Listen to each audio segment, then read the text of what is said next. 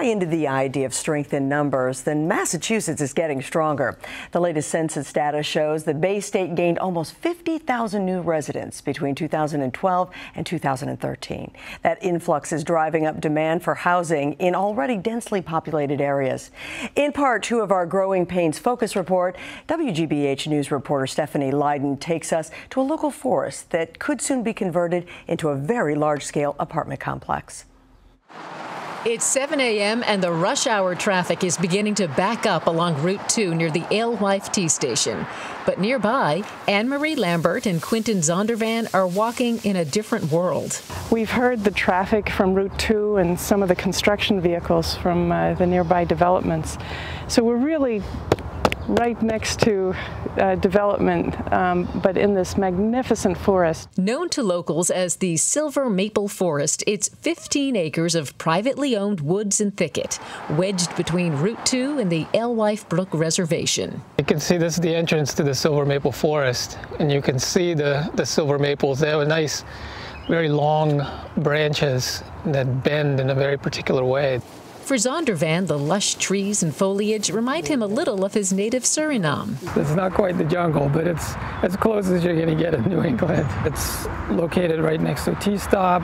It's very easy for people to come here and experience a little bit of nature. Zondervan and Lambert are among those fighting to save the forest, which straddles the Belmont Cambridge line. A developer wants to build a 298 unit apartment complex on the Belmont side. The two say that will destroy the forest, one of the few remaining natural spaces in what has become a very dense neighborhood. If you add in the 298 units that are proposed here in Belmont uh, to the 3,100 units, that you guys have been doing in Cambridge and continue to do since 2005. Yeah. That's a lot of housing units. Yeah, there's a lot of concern in, in Cambridge, I know, about all the development that's going on out here. State Senator Will Brownsberger, who represents Belmont, has long sought to protect the silver maple forest from development. The strategy that I had in mind was that maybe the state could put some money on the table and that the communities of Arlington, Belmont, and Cambridge could come up with some money and we could uh, reach a deal. But his bill to acquire the land and make it part of the Alewife Brook Reservation never came to fruition. I put the legislation to that effect on the governor's desk, but the governor vetoed that legislation. I don't agree with the decision, but I do understand where his administration was coming from. That's because the proposed Belmont complex includes 60 affordable units, and the governor has made affordable housing a priority. So that's a legitimate countervailing concern, and I think that's why, in fact, the legislature has so far, I mean, the governor has, has, has not been supportive of of putting money in place to acquire it. Back among the trees, Quinton Zondervan and Anne Marie Lambert say they recognize the need for housing, but say that the scale of development has gotten out of hand. Of course, we have affordable housing challenges in the state and in, and in our town, but it seemed like we ought to be able to find a way to compensate the owner and show that the value of the land preserved is um, much greater than the value of the land developed. And as they walk one more time in the silver maple forest, they fear it may be the last time. For WGBH News, I'm Stephanie Leydon. We reached out to the O'Neill Properties, the developer of the proposed apartment complex, but they declined to comment. So how can we balance the demand for more housing and the desire for natural open spaces? Andre Leroux is executive director of the Massachusetts Smart Growth Alliance, and we want to welcome him tonight. Nice to have you here. Thank you. So let's talk a little bit about some of the numbers first um, when it comes to uh, the need for housing. Has real estate been that shortage? There in that package, it sounded like like there's a lot of real estate available in Cambridge. Well, anybody who uh, lives in the Boston area knows just how high the housing uh, housing prices have gotten. And uh, even though our population's grown a little bit over the last few years, we still lose people to other uh, states, particularly parts of the country that have lower housing costs. So here, um, you know, it's been estimated that we would need another 28,000 units of housing to build just to bring us uh, on par with the vacancy rates that other states experience. And do they deal with these kinds of issues differently if maybe it's suburb versus in the city?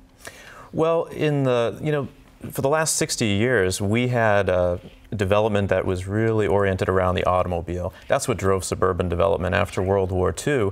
And everybody wanted to have uh, their own lot uh, in their house and the white picket fence, very mm -hmm. classic suburban notion.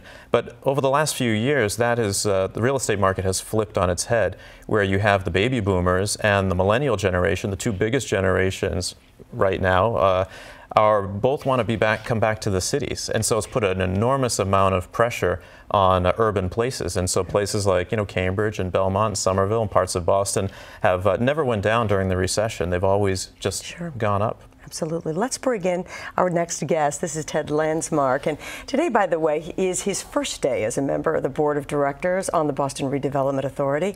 He is Mayor Marty Walsh's first appointment to the BRA Board. We want to say congratulations, sir. Well, thank you very much. What a it's, terrific uh, honor for you. It's going to be a great challenge. Let's talk a little bit about this issue that we're talking about here. And I know that you've looked at other communities, and uh, we're not the only ones who have faced this kind of issue. How are they dealing with this kind of development and keeping the balance?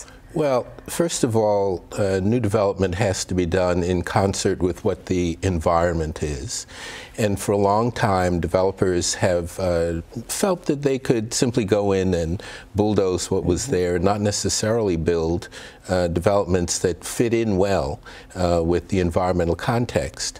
Uh, when you travel around the country, and particularly when you travel to parts of Europe where land is very scarce, one of the first things you see is that there's almost always a design solution that is available to a developer, a way of siting a project, a way of changing the configuration of the project, uh, a way of building the project in a way that takes advantage of more sensitive design options that are available so that you don't necessarily have to destroy the natural environment in order to meet the housing need.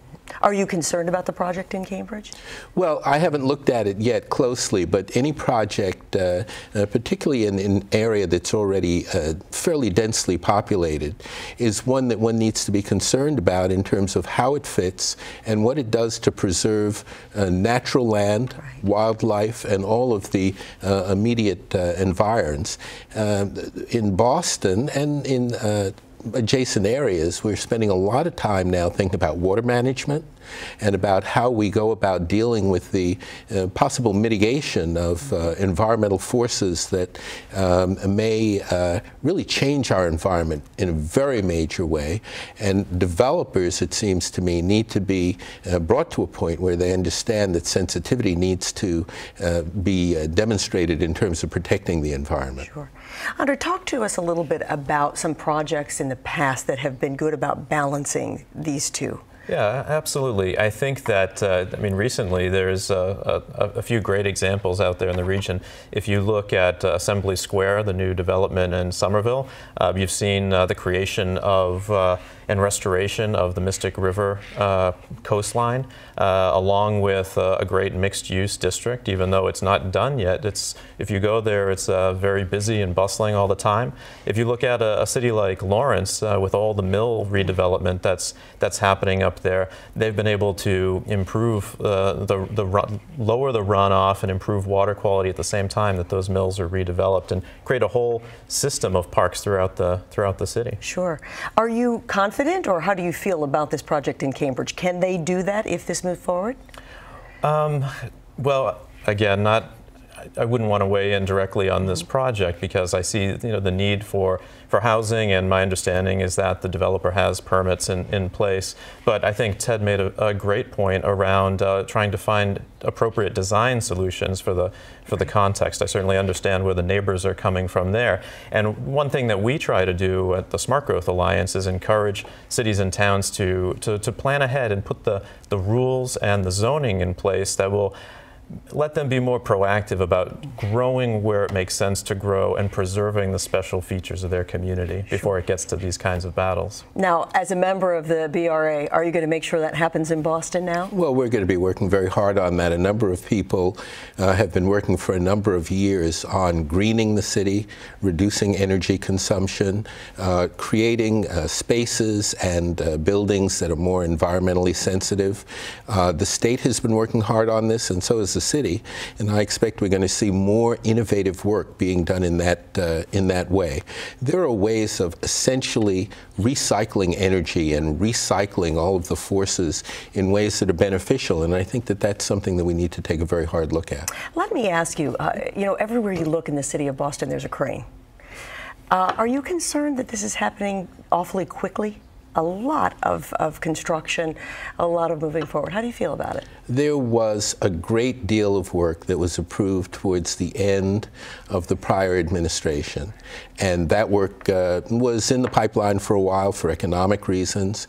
And a lot of it is going on right now. There's no question of that. We're seeing investment from throughout the United States and abroad. Um, and some of the highest real estate prices um, uh, that we've ever seen in the city as the city is growing and expanding. Uh, Mayor Walsh is committed uh, to not slowing uh, the progress of work that is already ongoing. Uh, but it's also clear that we need to take a hard look at the planning functions at the redevelopment authority and to really dig into what it takes for the city to think about itself five years from now and 10 years from now. We've not had a comprehensive zoning and city plan in the city since 1964. And that means that a lot of work goes forward in a very ad hoc way. And I think one of the priorities is going to be to develop a comprehensive plan in an inclusive way uh, that would permit us to move forward with coherence and with sensitivity to the environment. And Andre, I'm assuming you would applaud that. Absolutely. I mean, I think we have to have some creative strategies now. To we don't have we're not a, a region with a lot of space, so mm -hmm. we can't grow out. We have to retrofit tired commercial areas. We need to think about new things like micro units uh, in places where there's a lot of demand. Sure. Well, gentlemen, it's really interesting, and, and this is going to be a story we'll be following for a long time because this is going to be a project that's going to move certainly into the future. Thank you both so much Thank for you being with Thank you. It's good to see you both.